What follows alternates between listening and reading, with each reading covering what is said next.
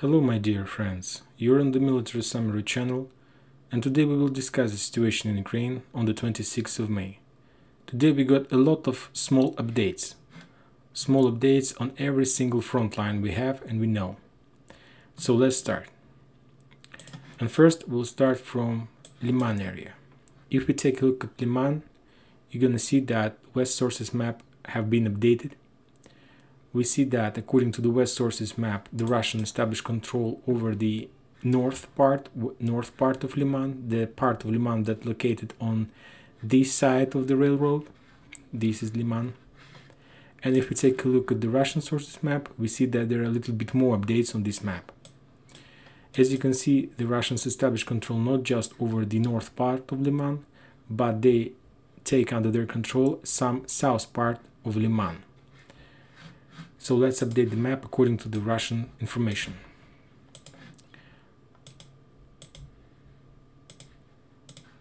This is the area that is under the Russians. More than that, the Russians started their offensive operation towards this small village. And now they're trying to attack the railway station from both sides. As far as I know, this is the only area that is still under the Ukrainian control. And I can't say that there are some regular forces. As far as I understand, there are just rear guard forces in this area. And the main idea of these rear guard forces to give possibility to the rest of the Ukrainian army to retreat from this position towards this town, Shudrove, Stary Karavan, Brusivka. As far as I understand, there is some small fortified Ukrainian position here and they're preparing their defense line in this area. And most Ukrainians are retreating toward this position. Saw a lot of video how Ukrainians using this road, this white road, and using this road were retreating towards this position. The Russians are saying that they established control over more than 80% of Liman. And uh, they're saying that there are a few days left and Liman is going to fall completely and they will get this fortified area. And the next heavy clashes we're going to see in this area. So this is Liman. So this is the fortified Ukraine position along this river, Seversky Donetsk. Right behind this fortified area is town Raigorodok and Slavyansk, the heart of the Donbas Arc operation. This is the railway part of Liman, the area where the Ukrainians left their rearguard forces and as far as I understand, maybe this evening, maybe tomorrow, these rearguard forces also are going to retreat towards these fortified positions. Now let's talk about Severodonetsk. This is Lysychansk agglomeration. This is Severodonetsk. This is one of the most important area in this operation. And there were no news from this area. We know that there are very heavy clashes and the Russian sources announced that they're starting their offensive operation toward this town. The Ukrainian forces, the Ukrainian military authorities include every day they include the information about this town that the Russians did another attempt of storming this town, but according to the Ukrainian military authorities, every single attack was uh, Russian attack was blocked, and the Russians were defeated in this area. So we didn't have anything about this area. So this situation in Severodonetsk remind, reminds me the situation in Bilogorovka bridgehead. Remember this small back where the Russians tried to cross this river, establish their pontoon bridge. They were defeated in this area, and the, the situation was that it was one of the most important battle in this area, and we didn't have any information. Uh, this operation started on on the 2nd of May, but we start to receive the first videos and pictures just on the on the 14th of May. And the same situation is with Severodonetsk right now. We know that there are very heavy clashes there. We don't know the real position of any forces. We know that Ukrainians are somewhere here, like be between Lysychansk and uh, like in Severodonetsk, somewhere here. And we don't know the real Russian position. Uh, the first update we got yesterday in the evening. And according to this update, there were very heavy clashes in this area. This is the bus station. This is the bus station of Severodonetsk. These heavy clashes were confirmed by both sides, and from Ukrainian side and from the Russian side. Yesterday I shown you the like approximate area where the Russians managed to establish their control. I told you that the Russians established control somewhere in the suburbs, but to tell the truth, I didn't know myself where exactly is the where exactly were the Russians' positions in this area, and a total complete silence from this area.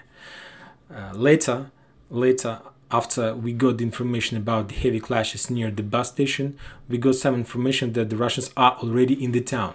But again, we didn't have the information about exact position of the Russians in this town. And today, somewhere at 5 p.m. of local time, I got the first message and the first update regarding Severodonetsk. So this is the map of Severodonetsk and this is the approximate line front line in this area. The red line is the Russian positions and the blue line is the Ukrainian position in this area. And the territory between these two lines is the gray zone and the territory of the heavy clashes. So as you can, more than that, this information wasn't prepared by the uh, Russian military authorities or Ukrainian. Uh, the um, uh, source that gave me this information told that this map was prepared according to the local uh, telegram channels so we, we need to understand that it's not uh, this information wasn't confirmed by not neither by the Russians nor by the Ukrainians. This information was prepared by the volunteers according to the information they got from the Telegram channels of this town. You know that Ukrainian uh, Ukrainians they have uh, Telegram channels almost in every single town, and so this is the map. So let's update this map according to the Russian front line for the better understanding of the situation in this town. So this is the Sever, Severodonetsk, and if you take a look, their front line begins in this on this cross and ends moves along the edge, the border of this town, and uh, um, complete somewhere on this block. So let's update. This is the cross.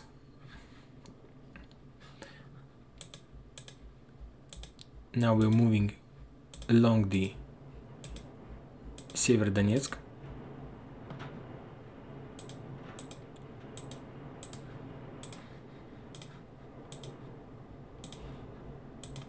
So this is the approximate progress of the Russians by this evening.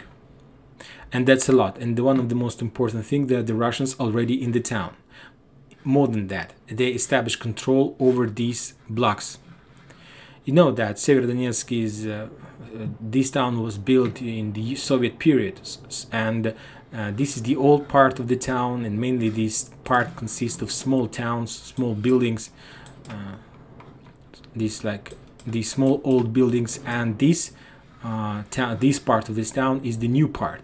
And uh, it's uh, suburbs of the Severodonetsk and as you can see there are just there are only high buildings with lot, lot of floors. Not like five even more so. It's like high position in this town. And as you can see according to this map the Russians established control over this area. So the Russians they're like on the high level.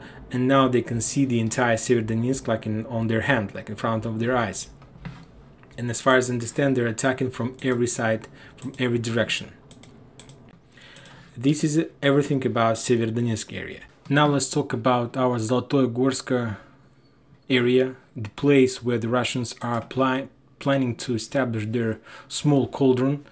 Uh, as we know, the Russians are attacking towards Vrubivka. And let's discuss the situation around Toshkovka, Chekhirovo, and Ustinovka. If, if you remember yesterday, I told you that the Russians established control over the entire Toshkovka. And they put some marks, some icons regarding that they show that uh, Toshkovka is under their control, but today they updated this map and they show that they established control over just half of Toshkovka. And the second part of Toshkovka is in the gray zone, and there is another part of this town, small town, is Chihirova. It's a small block. It's part of Toshkovka, but uh, according to the local peoples, they're saying that it's a separate part of the Toshkovka. And we got information from the locals.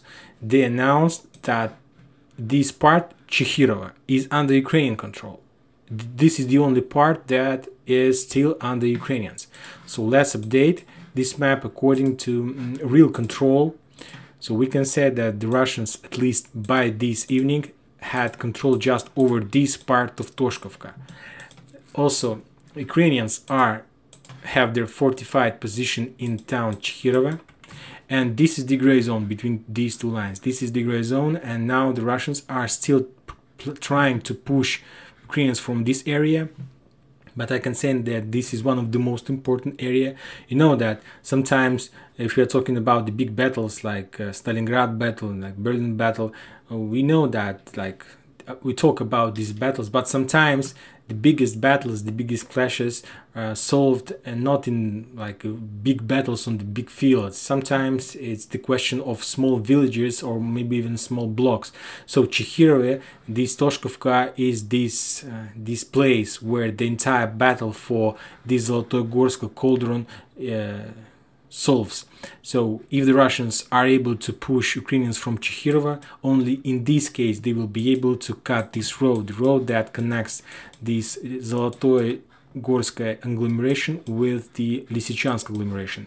But for now, Ukrainians are in Chihirova and they still have some small connection. Of course, this area is totally under fire control, at least at least this part of the road. But though the Ukrainians still have possibility to receive supplies, support, and reinforcement. More than that, Today, in the evening report, the Ukrainian military authority announced that the Russians achieved some success in town Ustinovka. And usually, if Ukrainians are saying that uh, Russians achieved some success, that means that this town is already under the Russians. But let's update according to official report, Ukrainian report, that the Russians had some success in Ustinovka. That means that they established control over some, we can say, part of this town. I'm not sure about exact streets or houses that under the Russians, but let, let's update just for better understanding. We discussed Ustinovka many times, and if Chihirova is still under Ukrainian, also we can say that Ustinovka very nice position to establish fire control over this part of the road, and this with that they will be able to cut reinforcement and supply from Lysychansk agglomeration towards Chihirova. More than that, as we discussed, the Russians have possibility to attack Bilogor and this is also a hill, some position on the hill. So this is all update regarding Toshkovka Chirva area. Now let's move towards our Bilogorovka Viktorovka. This front line is under the Russians, and according to the Ukrainian military report, the Russians were trying to attack and to increase and to develop their bridgehead in this area. They were attacking towards Bilogorovka. As far as I understand, not entire Bilogorovka is under the Russian, according to Ukrainian sources, but we'll see more than that. The Russians were attacking Berestove, the Russians were attacking the Russians were attacking Nirkove, and the Russians were trying to attack Vrubivka. But Vrubivka totally under Ukrainian control, so it maybe just was like a reco in combat, nothing more.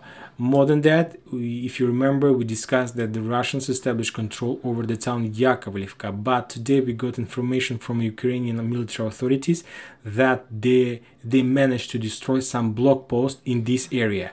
I can't tell exactly which block post they managed to destroy, but I think that Ukrainians managed to destroy the Russian block post in this area. This was like standalone block post, and this there was around 15 uh, Russian soldiers maybe it's just a speculation. I don't know because i didn't got any improvements or confirmation from any source russian source. So just like note from ukrainian military uh, channels that there was a situation somewhere on this road and that the ukrainians managed to destroy one russian block post somewhere here. So this is all about this area. So the russians are trying to develop their um, position in this area and they're trying to move towards the north and they're trying to encircle the entire Lysychansk uh, agglomeration group. Now let's move to the south, to this area. Right before I start recording this video, I got the Ukrainian military report, their updates for today, and there were a lot of interesting news. First of all, the Ukrainian side confirmed that they lost town Midnaruda this town. This is small village, I must say. Like, um, and, I can't even say what exactly they maybe two towns, maybe two houses or something like this. But the Ukrainians they lost control over this town. More than that, they confirmed that the Russians achieved some success in two key towns, Klinovo and Pokrovsk. These two towns. That means that the Russians managed to establish control at least over some part of this town. So let's update this area according to the Ukrainian military report. Um, but one more thing, we know that the Russians established control over the entire Vladimirovka, and more than that, they established control over over this Novokamyanka. So we can say that the current situation in this area is something like this.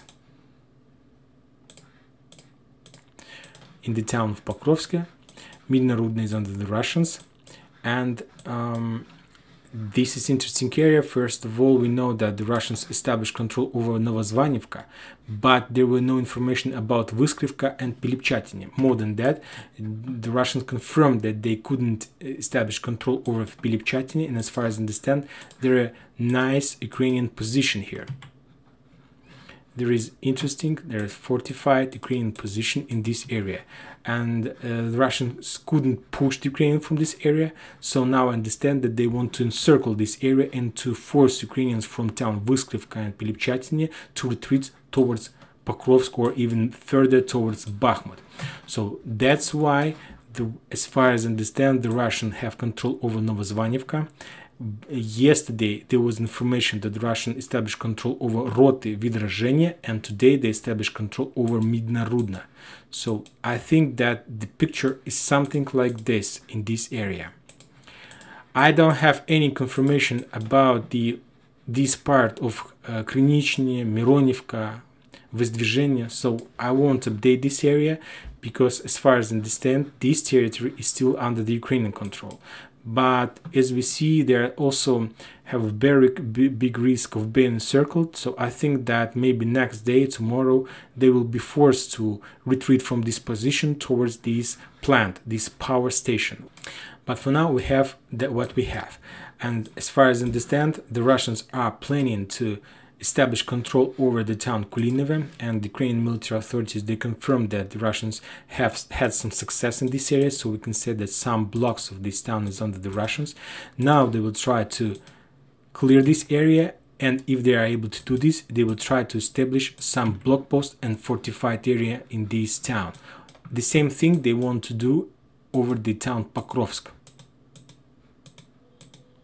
So they want to block Bakhmut and they want to establish fire control over the Bakhmut. And we know that Ukrainians, they have a lot of forces there, a lot of tanks, a lot of heavy armor, heavy equipment, a lot of forces. It's a real castle. It's a real Ukrainian castle in this area. Now let's move a little bit. Well, let's take a look at this map from zoom out position. This is the current situation. This is the current situation now let's move to the south to the Gorlovka. Yesterday in the evening, the Russian military authorities announced that they started their offensive and storm operation towards Novolugansk. Uh, we don't have any updates regarding this area. The only information was that the Russians managed to establish control maybe over some suburbs and they're planning to complete this operation. And the main idea of the Russians, of course, to establish control over this power station. This is very important power station, and you see these lakes, and uh, there are some dam in this area, and Ukrainians tried to blow this dam few times. At least this dam, they want to blow it, and they want to fill, flood this area with water, and that will allow them that will slow the Russian invasion and, and slow the Russian offensive operation towards the Bakhmut.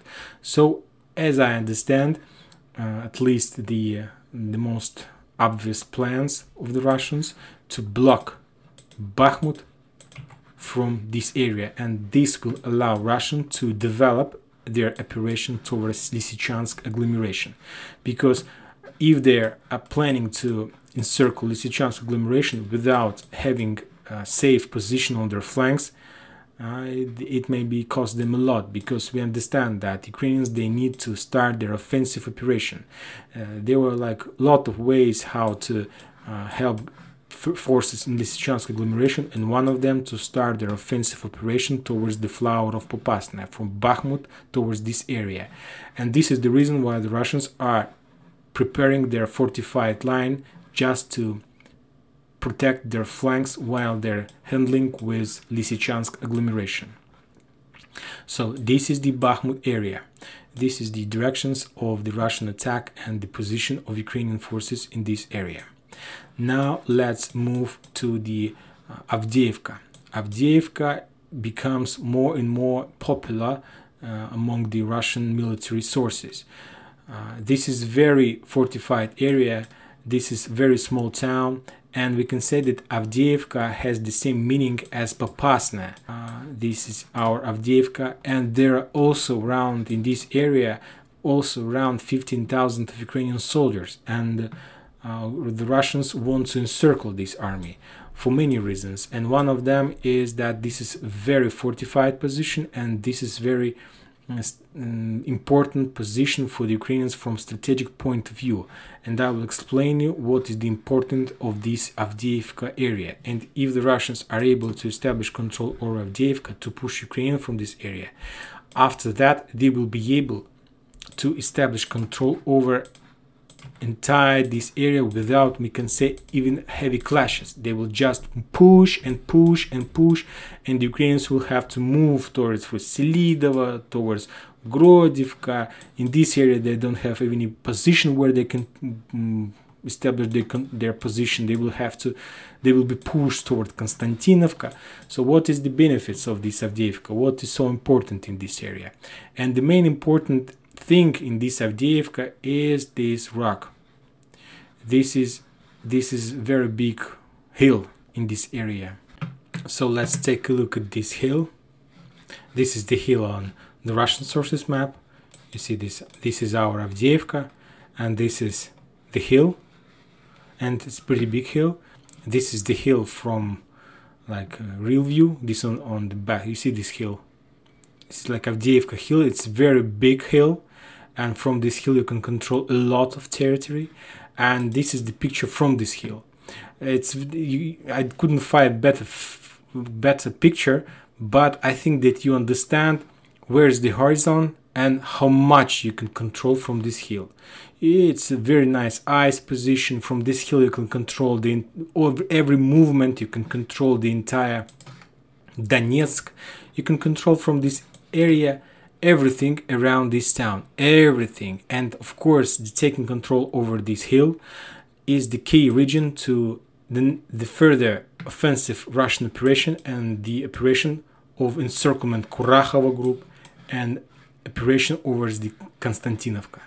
So this is the battle for hill and this is the reason why the russians are attacking not in front of avdiivka because in this case the hill will be on the back of the front, Ukraine front line, and using this hill, the Ukrainians will be able to correct the artillery fire uh, over the Russians. So that's why they're trying to attack the hill right in front, because in this case they will be able to cover this hill with their artillery position, and Ukrainians won't be able to have their position and it's very difficult to protect such hills when you attack like in front of this hill because you need to establish your positions you need to uh, hide somewhere. I'm talking about Ukrainians. So this is the reason why the Russians are trying to surround this town and move uh, to the top and attack this Avdiivka from the north. And that's it for today. Thank you for watching. Subscribe to my channel, put your likes, and enjoy your day. Bye bye.